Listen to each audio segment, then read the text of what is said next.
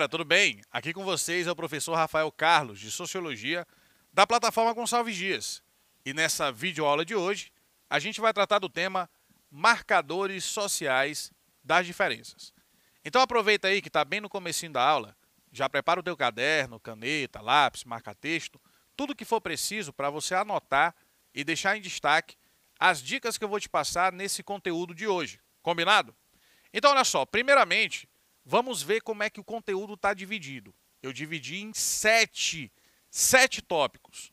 No primeiro tópico, eu vou falar para ti o que, que são os marcadores, ou melhor, quais são os marcadores sociais das diferenças. No segundo tópico, vamos tratar da desigualdade de classes. No terceiro, as desigualdades de gênero. No quarto tópico, as desigualdades geracionais. No quinto, a desigualdade racial. No sexto tópico, as desigualdades de orientação sexual. E, para finalizar, nós vamos concluir o tema, apresentar um panorama geral sobre esse assunto. Beleza? Então a gente começa agora falando quais são os marcadores sociais das diferenças. Nós sabemos que as desigualdades sociais são produto das relações estabelecidas entre os indivíduos. E estas relações refletem os conflitos de interesse de grupos ou indivíduos em relação a outros grupos ou indivíduos.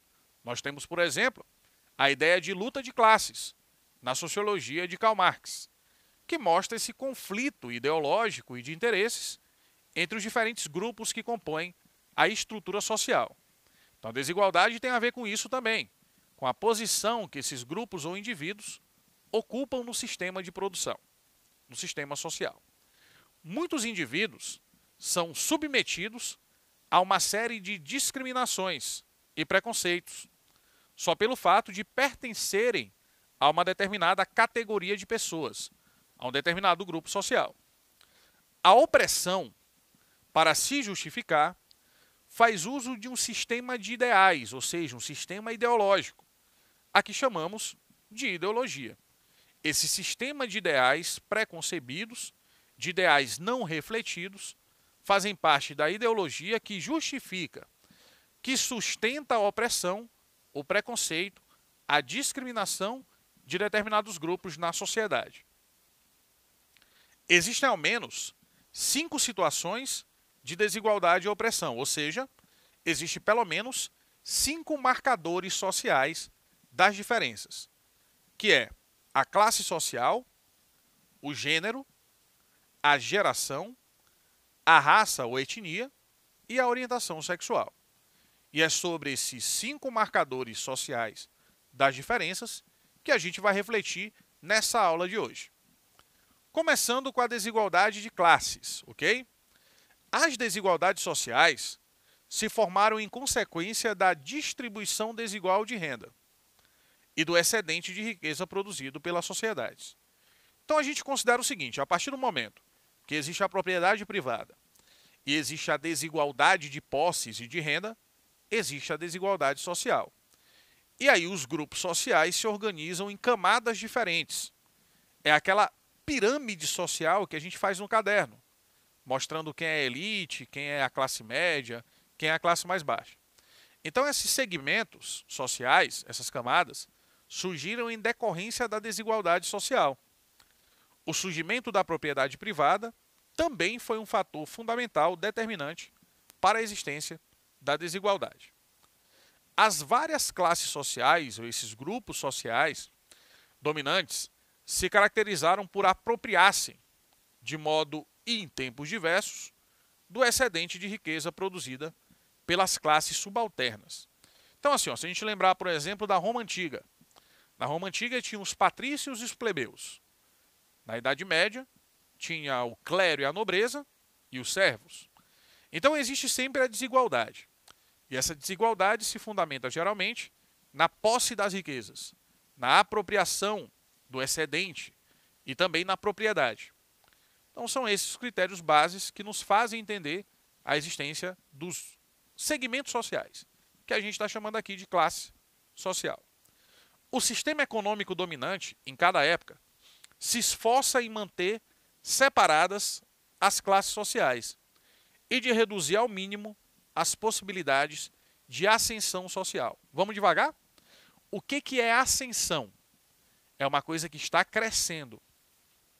Então, se você tenta reduzir socialmente a possibilidade de ascender, significa dizer que é mais difícil para quem está embaixo subir lá para o topo da sociedade, para o topo da pirâmide. Então, em sociedades diferentes, criam-se mecanismos diferentes para impossibilitar ou dificultar que as camadas mais pobres, mais baixas, consigam subir na pirâmide social. Desde a antiguidade, já falando agora da desigualdade de gênero, várias sociedades estabeleceram uma supremacia masculina. Então, a partir do momento que as sociedades vão se formando, ainda no período antigo, você tem ali o papel do homem tido como o provedor e a mulher acaba tendo uma postura mais secundária, ou uma função mais secundária dentro dessas das estruturas sociais. Esta dominação masculina provocou a exclusão sistemática das mulheres da vida política, do governo, da literatura, da arte, da filosofia e com exceção de raros e relevantes momentos. Então, vou te dar um exemplo. Quando você estuda antiguidade, Grécia Antiga, Roma Antiga, quando você estuda os filósofos né, dessa época, você percebe que a grande maioria deles são homens. Eu consigo me lembrar de cabeça só de uma mulher que é citada na filosofia antiga, que é a Diotima, só ela. Mas ela é uma exceção que confirma a regra, que os homens em geral tinham acesso à educação formal e por isso desenvolviam-se na filosofia, nas artes, na literatura, e as mulheres acabavam relegadas a um segundo plano. Então o que a gente está dizendo é que isso é uma coisa construída historicamente.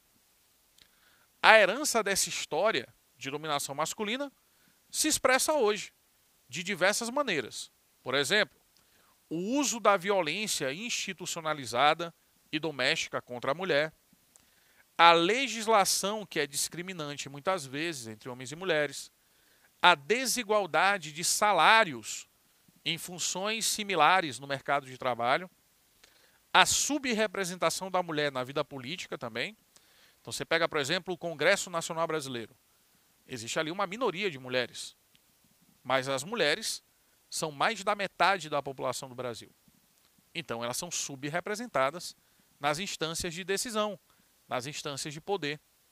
E também toda, todo o processo de objetificação da mulher que vai sendo construído ao longo do tempo. E aí você percebe que existe uma desigualdade ali de tratamento entre os gêneros, entre o homem e a mulher, entre o masculino e o feminino. Outra desigualdade que a gente percebe também são as desigualdades geracionais. E aí tem a ver com uma coisa chamada geração. Né? Por isso que às vezes as pessoas dizem assim: ah, na minha geração as músicas eram melhores. Com certeza você já ouviu alguém falando isso aí na sua família, né? seu pai, sua mãe, seu avô, sua avó, geralmente falam que as músicas da época, da geração deles, eram melhores, ou que as coisas eram melhores naquela época. Então é isso que é a desigualdade geracional. É a desigualdade entre diferentes gerações, entre diferentes épocas, ok?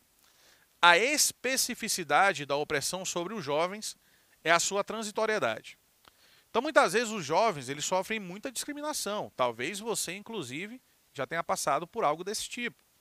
No mercado de trabalho, muitas vezes, as pessoas acreditam que por ser jovem, você não vai dar conta do trabalho, você não vai ter responsabilidade para lidar com as situações ali da, no sistema produtivo, né, no, no mercado de trabalho. E muitas vezes você deixa de ganhar o emprego, de ganhar a vaga de emprego, exatamente porque você é muito jovem. Isso também já aconteceu comigo, isso acontece com muita gente.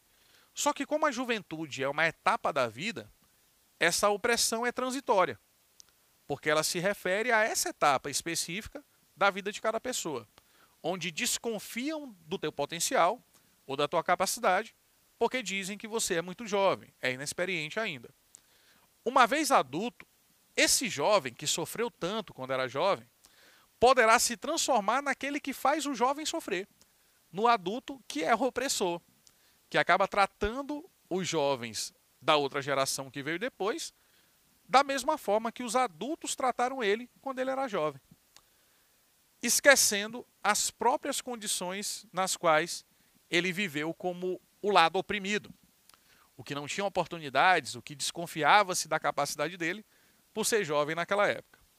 Apesar disso, os jovens sempre se rebelam, ou geralmente, pelo menos, se rebelam, diante das regras sociais que lhes são impostas. Né? Então existe esse, esse caráter de rebeldia muito comum nessa fase da vida que é a juventude, certo? Então não quer dizer que o jovem é, sofre essa opressão sem reclamar ou sem se manifestar.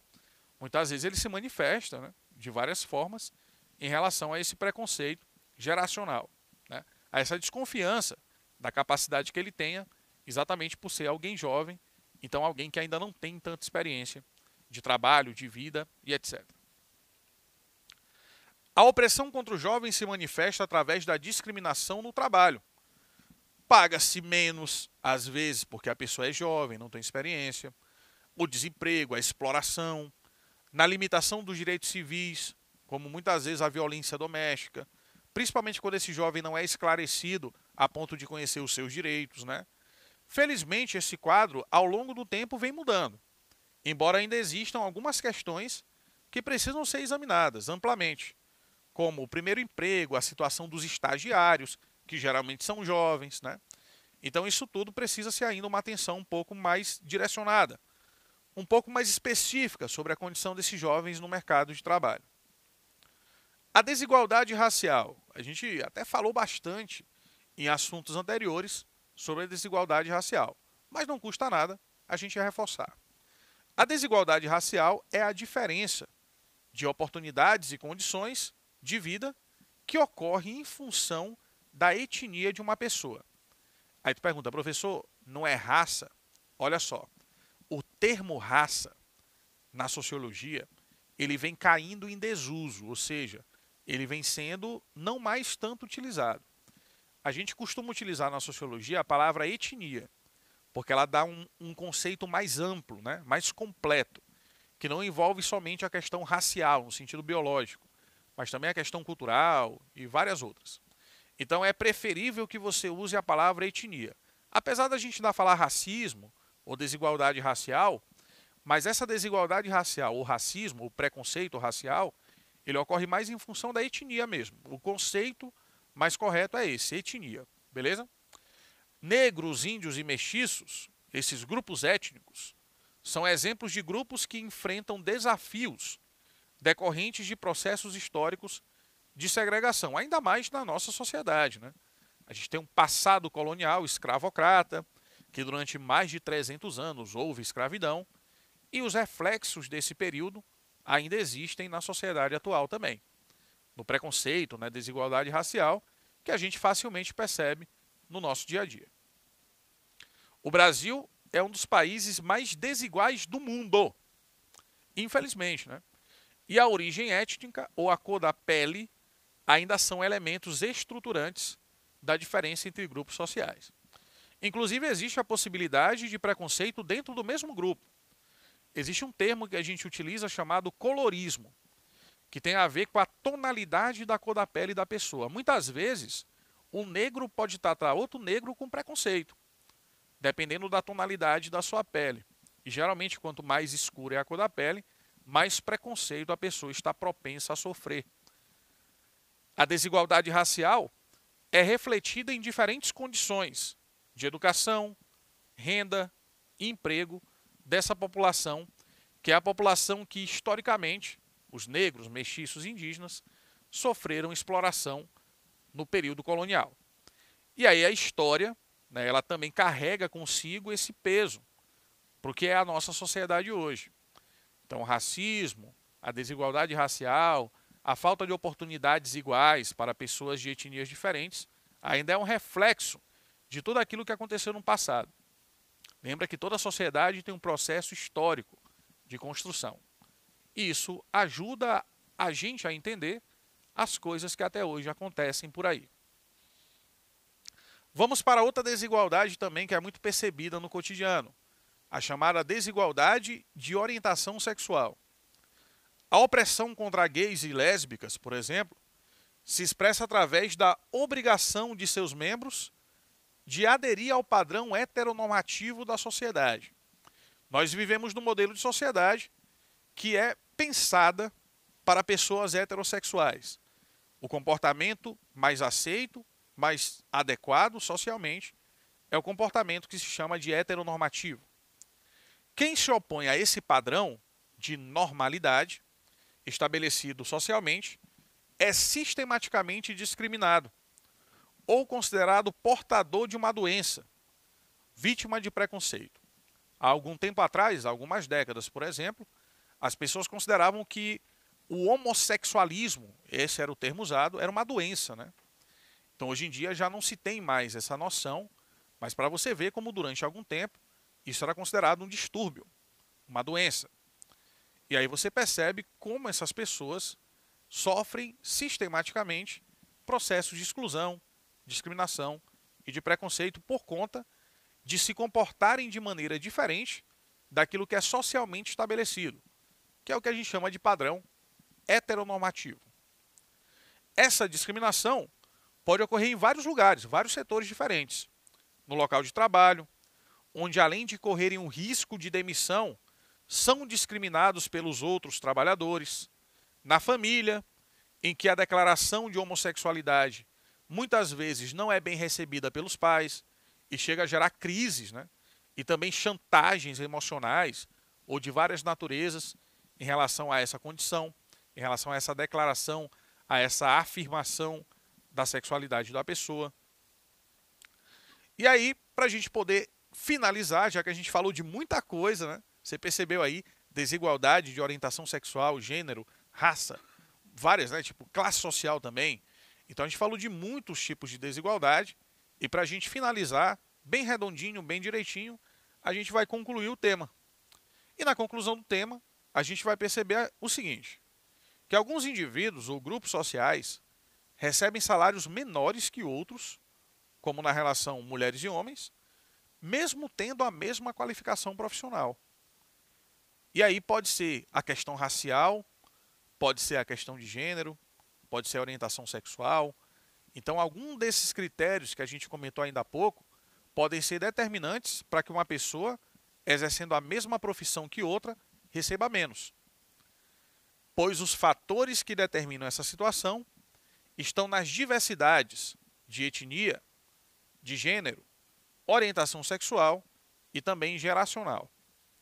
Então você percebe que uma coisa muito básica, como a remuneração salarial de alguém, pode variar se essa pessoa for branca ou negra, ou indígena, ou mulher ou homem, né? ou então homossexual ou heterossexual. Então, esses critérios que marcam a diferenciação social acabam influenciando em situações do cotidiano, como até mesmo o salário que a pessoa recebe por desempenhar a sua profissão.